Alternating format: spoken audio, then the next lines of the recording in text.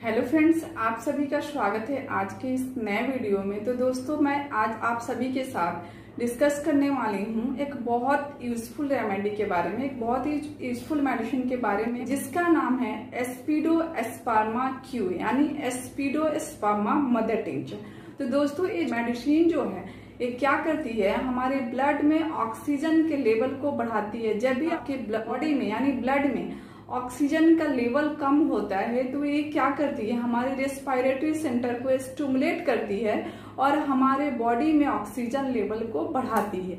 तो मैं doctor Ruby आज आप लोगों के साथ डिस्कस करूँगी कि किन किन कंडीशन में आप इस मेडिसिन को यूज़ करेंगे, कितने डोज यूज़ करेंगे और कब यूज़ करेंगे।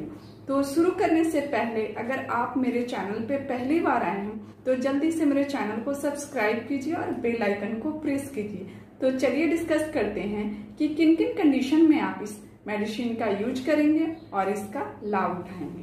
तो दोस्तों, जो हमारी पहली कंडीशन है, ये उन लोगों के लिए भी बहुत अच्छी मेडिसिन है जिनको अस्थमा की प्रॉब्लम है और अस्थमा की वजह से उनको सांस लेने में प्रॉब्लम हो रही है, उनको डिस्निया हो रही है, डिफिकल्टी ऑफ़ ब्रीदिंग हो रही है और उनके बॉडी में ऑक्सीजन की कमी हो रही है। तो इस केस में भी आप इस मेडिसिन को यूज़ करेंगे, आपको बहुत हेल्प करेगी। तो दोस्तों, अस्थमा के केस में जब हमारे ईयरवे जो होते हैं, वो नैरो हो जाती है तो हमारे बॉडी में क्या होती है? ऑक्सीजन का कमी हो जाती है। तो ये मेडिसिन हमारे ब्लड में ऑक्सीजन का लेवल बढ़ाती है। दोस्तों, ये उन लोगों के लिए भी बहुत अच्छी मेडिसिन है जिनको कार्डियक अस्थमा की प्रॉब्लम है।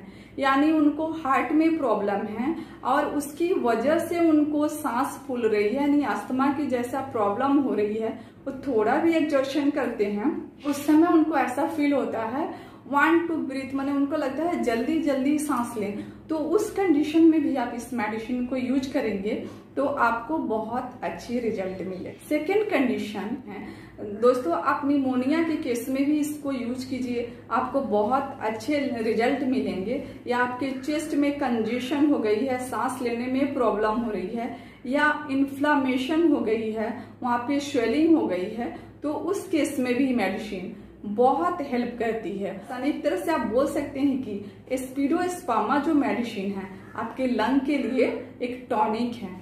तो ये आपके लंग के स्ट्रेंथ को बढ़ाती है, उसको स्ट्रॉन्ग करती है। तो दोस्तों, ये जो स्पीडोस्पामा जो मेडिसिन है, ये बहुत अच्छी मेडिसिन है आपके रेस्पायरेटरी सिस्टम के लिए। या कोई भी टेम्प्रोरी ऑब्स्ट्रक्शन आपके रेस्पायरेटरी सिस्टम में होती है तो ये मेडिसिन उसको रिमूव करती है और आपके बॉडी में ऑक्सीजन का लेवल परफेक्ट करती है। तो उस केस में भी आप इस मेडिसिन को यूज़ करें, बहुत अच्छे रिज़ल्ट मिलेंगे। दोस्तों, हमारी थर्ड कंडीशन है। तो ये उन लोगों के लिए भी बहुत अच्छी मेडिसिन है, जिनके ब्लड में यूरिया का लेवल ज़्यादा होने की वजह से उनको सांस लेने में प्रॉब्लम होती है। तो इस टाइप के अगर आपको कोई भी प्रॉब्लम हो तो इस मेडिसिन का ज़रूर यूज़ करें और उसका लाभ उठाएँ।